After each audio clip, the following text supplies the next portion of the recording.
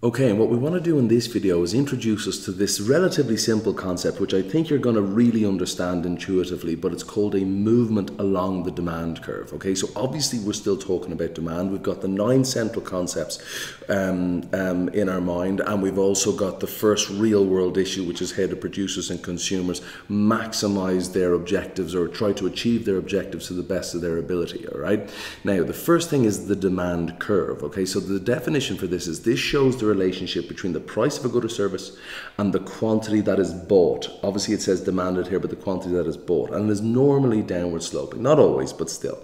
When we are talking about demand, and I will say, or any fact, anything in economics, anything in economics, whatever we're talking about, it's implied that a ceteris paribus relationship exists or a ceteris paribus condition exists. And what that means is all things, all of the things being equal, unchanged, the same. So in economics, we are trying to ascertain the effect of a change in one variable on another variable. So what we're doing in this now is we're trying to um, uh, find out what happens when price changes what happens to quantity demanded when price changes. So the change in price, that's one change in one variable, and how does that affect another variable, which in this case is quantity demanded.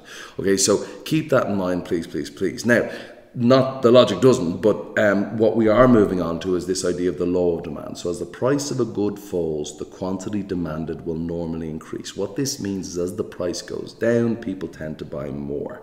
Okay, as the price goes up, people tend to buy less. And I've already said this as the price goes down, people tend to buy more. And that just makes sense to you intuitively. If something becomes cheaper, and I've often used the example of a Ferrari, if the Ferrari went from $250,000 down to $1, dollar, I guarantee you a lot more people would own Ferraris. Okay. Now, looking at the demand curve and remembering when we're in economic or in microeconomics, excuse me, as we are now, we have the rule of eleven, but we can't do that because we don't have a supply curve. So we just put in what we can.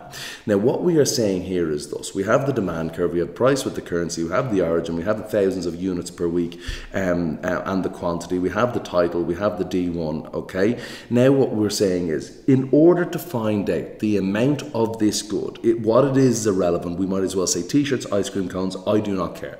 The amount of this good that is bought at price P1, what, whatever that price is. If if you don't like the letters, think that this is ten dollars, ten euro, whatever, or ten euro because we're using euro here. So we go out from this price P1, 10 euro, touch the demand curve and down. That tells us the exact amount that is purchased of this good here, t-shirts at a price P1 $10. Now, if the price falls, we know from the law of demand that more will be purchased. Well, how do we show this graphically? And this, by the way, is something that some students can get uh, confused about. Well, we go out, uh, from the price, we touch the demand curve, go down, and this is the second quantity. This is the quantity that is demanded or bought at price P2.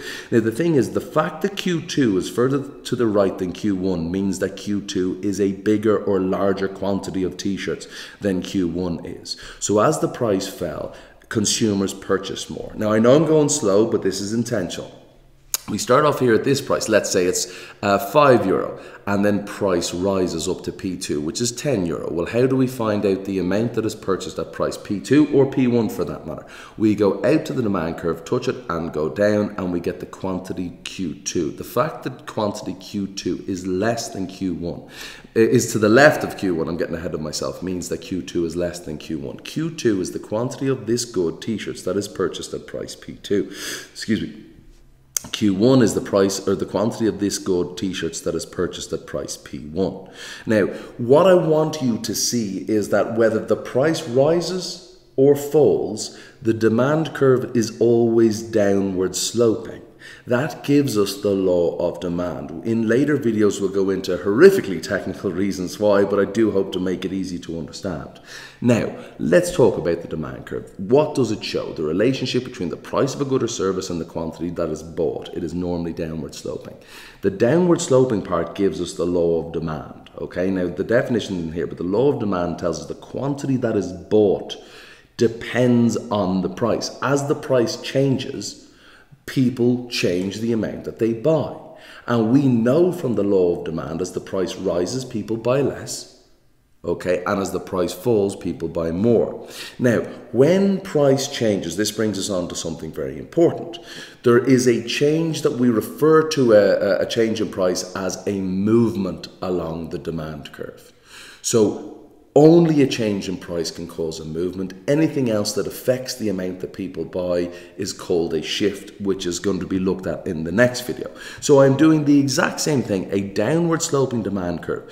Whether the price rises or falls, a downward sloping demand curve shows that the good obeys the law of demand. As price rises, people buy more. That's wrong. As price rises, people buy less. As price falls, people buy more. Excuse me. So looking at this, as the price falls down to P2, we go out to the demand curve touch and go down. You're like, John, we've already done this. And yes, we have. Now, why is this called a movement?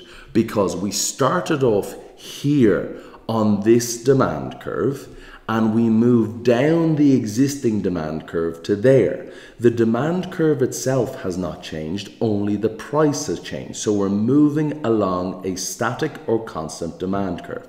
So a movement is only ever caused by a change in price and why? The demand curve doesn't change, just the price changes and that causes us to move along the existing demand curve from there down to there in this case okay, and a movement up the demand curve. Well, as price rises, we move up to a higher price at price P2, go across the demand curve, touch it and go down, and we get this lower quantity than was bought before at price P1, uh, which is Q2.